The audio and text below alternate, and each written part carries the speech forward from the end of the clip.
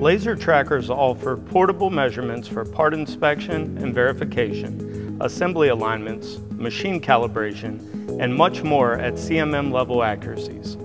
Laser trackers have revolutionized quality inspection processes, allowing for more complex designs to be produced at higher speeds and tighter tolerances and brought to market. For the purposes of this video, we'll be using API's Radian Laser Tracker series as the benchmark. Essentially, Laser trackers turn the environment around them into a three-axis coordinate plane, in which the tracker serves as the point of origin, where the x, y, and z values are all zero. The tracker is able to measure points in all 360 degrees of space around it horizontally, and 138 degrees vertically.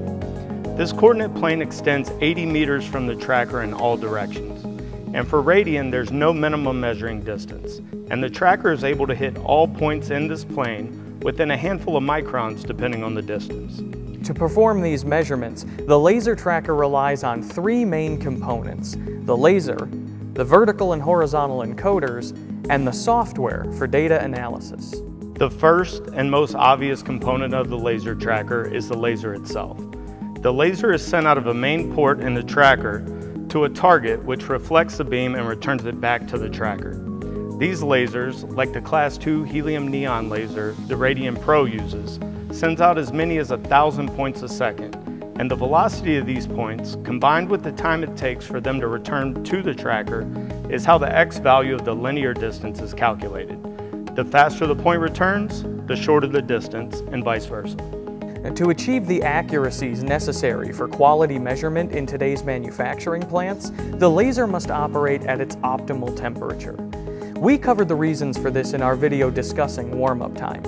In addition to that warm-up time, the tracker comes equipped with a weather station that keeps track of the temperature, humidity, altitude, and other environmental factors that can affect the shape of the laser beam and distort measurement results. The second main component of the tracker is the vertical and horizontal encoders. These EL, or vertical, and AZ, horizontal encoders, are what set the tracker apart from other straight-line machine calibration laser interferometers, like API's XD laser. They allow the tracker to follow a target through vertical changes along the z-axis and horizontal changes along the y-axis. These movements are all driven by the tracker's communication with the target. As we discussed in our How It Works SMRs video, the target reflects the incoming laser to the center of its corner cube reflector and returns the laser from that position. The encoders calculate these differences in Y and Z position and tell the motor how far to move the laser shaft to meet this new center point on the target. And because of the number of points the laser is sending out, these positional corrections are taking place every thousandth of a second. The angles recorded by these encoders are combined with the linear x distance recorded by the laser's time of return to find and label the target's exact point in space in relation to the tracker. In addition to these encoders, there are two other internal mechanics that help the tracker maintain both connection with the target and accurate positional readings. The tracker has a high definition camera, or cameras in the case of the Radian Pro, that face outward in the same direction as the laser beam.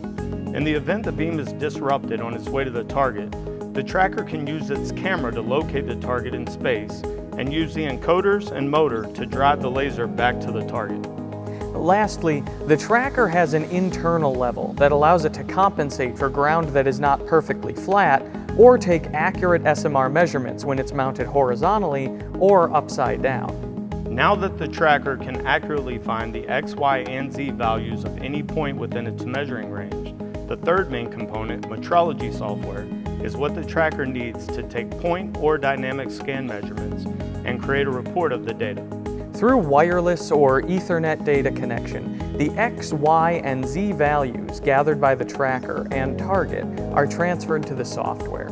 The tracker operator can use this software then to record specific points along a measurement, set a measurement interval for easy solo operation, or set up a dynamic scan to measure elevation of certain features. Specific measurement programs to check for alignment or angular squareness can also be chosen. Once measurements are complete, the data in the software can be viewed and compared to CAD data, and an error or acceptance report can be run.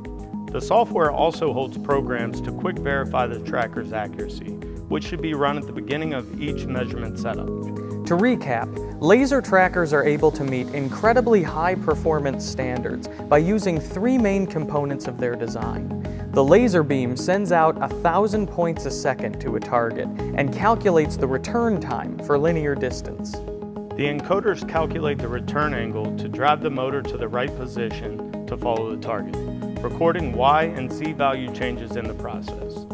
And the metrology software presents this data to the operator who can take point or dynamic scanning measurements with it, compare the results to a design, and run a report to accept or rework the part. API's Radian laser trackers are the smallest, lightest, most accurate laser trackers available. And contact us to speak to a real metrologist today.